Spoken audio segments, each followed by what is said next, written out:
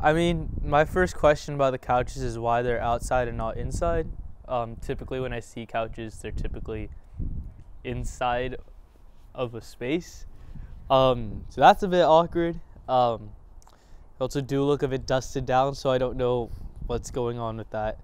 Um, kind of tend to avoid the couches at times, but um, I mean the couches in Mr. Taylor's room are chill, I guess. Yeah, I mean if they were to get new couches, I'd say just put them in a room or something because don't want them to get all destroyed like that again. So, yeah. Where do you think they got the couches from? You know, I have a ongoing theory that um, uh, what's his face, Blueface, right? He was like bust down and boom, they were just here. Yeah. Deep, deep. What is your favorite couch?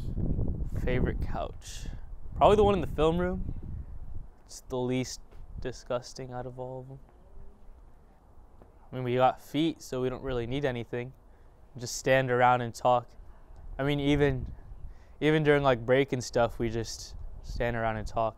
We got a bunch of chairs here, like the one I'm sitting on right now. Um, chairs, feet, yeah. I mean, you're trying to get those leg gains, right? So I mean, What do you think your ideal couch would be? my ideal couch. You know those um those massage recliner couches? Imagine that in like a game room movie theater type situation. That would be dope.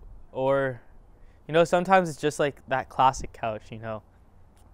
Modern, sleek, something where you just jump in it kind of like ah and you're just chilling, you know. Um yeah, I mean any of those work. I'm not a, I'm not a couch expert by any means, but I mean, I know a good couch when I see one, and the only good one at Freestyle is in Mr. Taylor's room.